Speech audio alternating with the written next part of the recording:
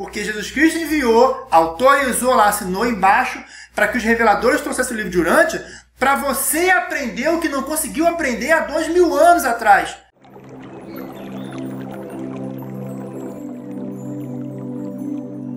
Vamos para a próxima pergunta dos nossos amigos, que é do Everton Alves. Fala aí, filha. Aumenta um pouquinho. Cegueta. Tá bom, meu bem? Tá, tá bom. Acho que. Não, tá, tá bom. Esse livro explica as profecias do Velho Testamento sobre o Messias e o fim dos tempos e o Apocalipse no Novo Testamento? O que, que você acha? Peraí, eu só tô no nascimento de Jesus, cara. Mas você ouviu falar, você ouviu falar sobre o Apocalipse no livro de Nátia? Eu não sei. Olha, eu acredito, hum. eu acredito fale, cara. Alguma, não, alguma coisa. Não estou falando do Apocalipse assim como fala a Bíblia, que aquele dragão vai se levantar do mar e vai comer geral e vai jogar fogo. Não estou falando isso não, tá? Eu tenho até um vídeo que eu fiz aí é, Eu Não Quero Saber, que estava escrito Eu Não Quero Saber, que é sobre uma conversa que Bartolomeu, o apóstolo Bartolomeu Natanael, que Natanael e Bartolomeu é o mesmo nome, trocaram depois. Ele teve com Jesus porque o apóstolo Natanael, ele dos apóstolos, dos 12 apóstolos, ele, ele era o mais ligado no que Jesus falava. Tanto é que vocês não veem na Bíblia nenhuma menção de Natanael ou Bartolomeu, nenhum livro dele nenhuma cartinha que nem de Pedro, nenhuma instrução de igual de Paulo, não vê nada disso. Por quê? Quando Jesus Cristo foi embora e Natanael viu que Pedro estava começando a pegar as coisas que Jesus Cristo ensinou e adaptar o judaísmo para poder ficar mais aceitável no secto dos judeus, entendeu? E aí ele, Natanael, ó, não concordo com isso, não foi isso que Jesus ensinou, não foi, e ó, foi embora foi embora, abandonou o grupo e foi viver a vida dele lá. E quem chegou perto dele, ele fez o que era o correto. Vamos conversar sobre Jesus? Jesus fez isso, isso, isso, isso, isso, isso, isso. Limpo, sem precisar fazer voltinha. Então, o livro de Urântia, ele não é um livro que foi criado para explicar a Bíblia. O nosso amigo Everton Alves, ele chegou até de uma forma bem grosseira no, nos comentários, mas depois de conversando lá, ele já ficou mais tranquilo com a gente.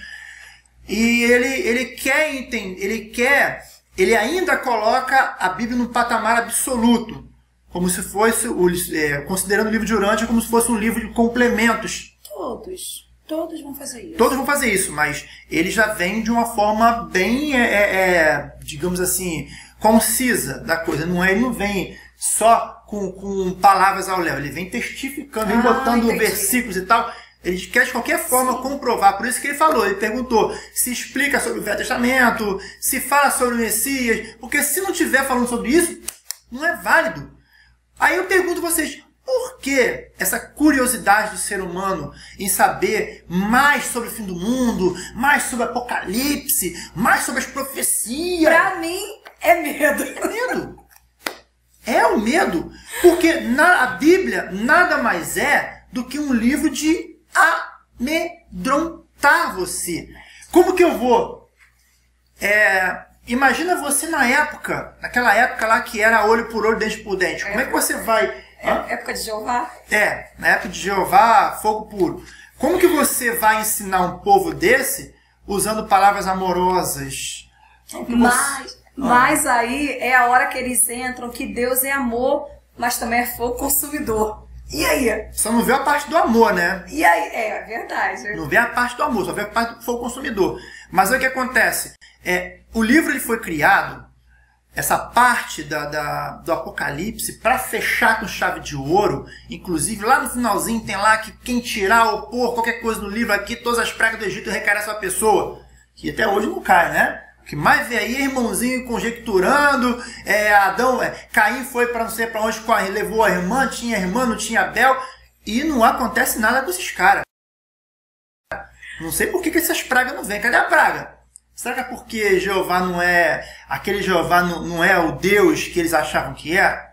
Será? Porque Deus não faria essas coisas com os filhos dele, não. Na minha humilde opinião. Mataria, um cara vai pegar lenha num dia de sábado lá. Olha, você foi pegar lenha? para fazer comida pro seu filho? para se esquentar do frio da noite do deserto, que é frio pra caramba? Morreu. Deus. Imagina Jesus fazendo isso. Pelo amor de Deus, né, gente? Pelo amor de Deus. Então, é, as pessoas elas, elas ainda têm esse temor, esse medo do, do, do apocalipse, do fim dos tempos.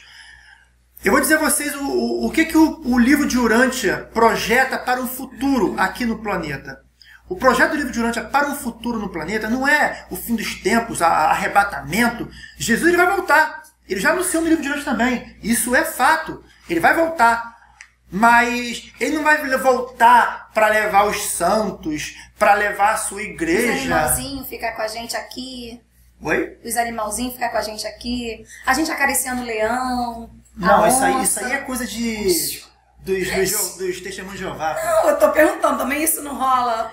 De certa forma, sim. Ah. De certa forma seria um pouquinho. É porque, gente, as revelações elas foram entregues. Elas estão no ar.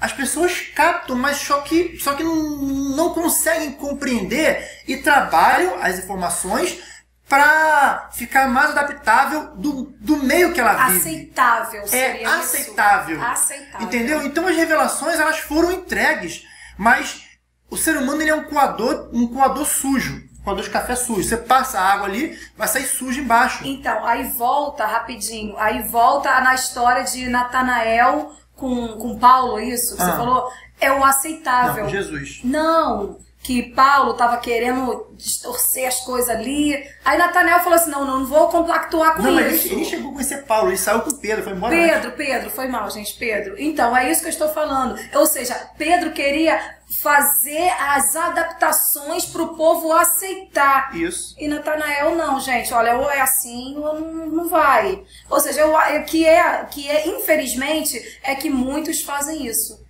é, é, pega a revelação e bota de forma aceitável. Aí, se eu falar isso com o Leandro, o Leandro não vai aceitar. Então, eu vou falar de uma forma bonitinha para que ele aceite. A, prospec a prospecção do que vai ser nosso planeta em um futuro, qual é o objetivo do nosso planeta em um futuro, é chegar na época de luz e vida que seria mais ou menos isso aí, né? Não é brincando com o leãozinho e tal. Animal vai continuar sendo animal. Se você meter a mão na jaula do leão, ele vai te dar na bocada. isso é, é, muita viagem, né? Aí, ou seja, vocês, a, a, a época de luz e vida é a convivência entre nós humanos. Nós vamos chegar, a intenção, o objetivo é chegar em uma fase em que a gente possa conviver entre um com o outro de uma forma tão esplêndida que, os, que Jesus Cristo voltando já não seria mais crucificado. Porque vocês acham que se Jesus Cristo voltasse hoje, ó, Jesus está voltando, tá não, meu irmão. Ó, pastor que fala que Jesus está voltando, ó, tá não. Não tá mesmo. Eu posso te garantir, não tá voltando não. Jesus só vai voltar aqui quando ele tiver certeza que quando ele botar o pezinho dele aqui, ó, não vão matar ele de novo. Porque ele só vai voltar quando vocês aprenderem a viver com o seu próximo, que foi o que ele ensinou primeiro. Para que, que ele vai voltar para ensinar mais coisas se você não aprendeu o que ensinou ainda lá atrás? Já se passaram dois mil anos, 2017 anos aproximadamente, e ainda o povo não aprendeu a conviver um com o irmão. Entenderam? Então, para que, que ele vai voltar? Para quê? Ah, eu vou levar os santos, meia dúzia de gato pingado? Jesus não ama meia dúzia, não. Jesus ama todos. A todos. E ele liberou o livro de Urântia. Quer me criticar? Critique. Quer criticar o livro de Urântia? Critique. Mas leia ele primeiro, para depois ter base para criticar. Porque Jesus Cristo enviou, autorizou lá, assinou embaixo, para que os reveladores trouxessem o livro de Urântia, para você aprender o que não conseguiu aprender há dois mil anos atrás. O que já vem sendo ensinado há dois mil anos. Bem, de forma deturpada, né? Mas foi um pouco ensinado. Porque, bem ou mal, está na Bíblia. Ame a teu próximo como eu vos amei. Se você quer aprender como chegar na época de luz e vida, basta você seguir a seguinte premissa que Jesus também ensinou. Se você quer, você nunca vai fazer a teu próximo aquilo que você não quer que faça contigo.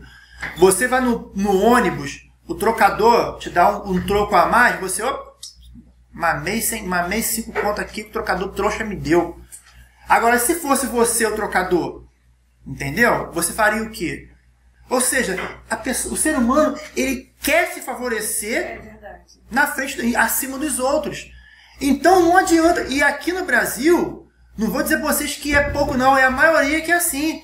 Bota aí 70% do brasileiro é assim, pensa assim, quer ter vantagem para si, independente do que faça. E você acha que Jesus vai voltar? É melhor acreditar em Apocalipse, meu querido. Continua acreditando no Apocalipse aí. Continua é mais, medo do Apocalipse. É mais lucro para você. É mais lucro. Porque se você não consegue aprender de forma coerente o que, que é amar ao próximo, então continua pensando em amar o próximo por medo. É, é aquilo, e nós até conversamos um tempinho atrás, que eu até virei para você e falei que infelizmente o cristão, o cristão, hum. é, ele, ele é hipócrita e egoísta. Lembra quando eu conversei com você? Eu falei assim: o cristão ele é um pouco egoísta, sabe por quê? Porque eu sou santo. Eu sou isso, eu sou, eu sou, eu sou santo e você, você é pecador. Tem mais ateu aí que é santo que um monte de cristão. É verdade. Então eu acho que e, e, e isso que o Leandro acabou de falar, se quando Jesus foi, ele virou pra gente e falou assim: olha, eu vou deixar com você o espírito da verdade. A gente nem conseguiu pegar, muitos aí nem conseguiu pegar o espírito da verdade ainda.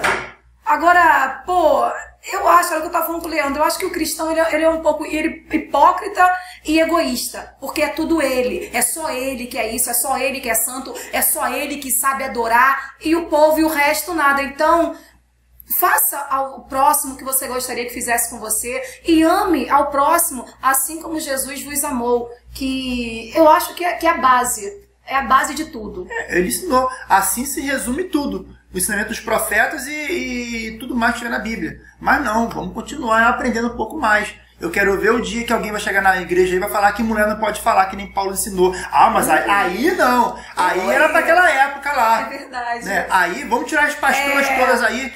As irmãzinhas que vão lá, repleté do fogo, ó, cala a boca aí, fica quieto aí. Pode falar na igreja não. Cadê? Mas para essas coisas aí, a Bíblia servia para aquela época. Mas tem coisas que não. Então, é, a pessoa ela quer trazer uma informação que é que é favorável para ela, a Bíblia é atualíssima todos os tempos. Sim. Aí você pergunta, a Bíblia é 100% atual? É 100% atual. Tudo que está na Bíblia é para esse tempo. Então manda tua esposa, que é pastora, calar a boca dele para casa dela lá. Quando tu chegar em casa, tu vai lá e fala com ela o que aconteceu na igreja. Paulo ensina isso, ué. Você não é evangélico? Não segue o evangelho de Paulo? Ah, mas aí não, gente, não, não pode fazer isso não, porque aí eu tô. Jesus veio pra graça. É, mas Paulo tava na graça. E aí? E aí? E aí? É, entendeu? Vamos pro próximo aqui então. Tem Apocalipse não, gente. Esquece negócio.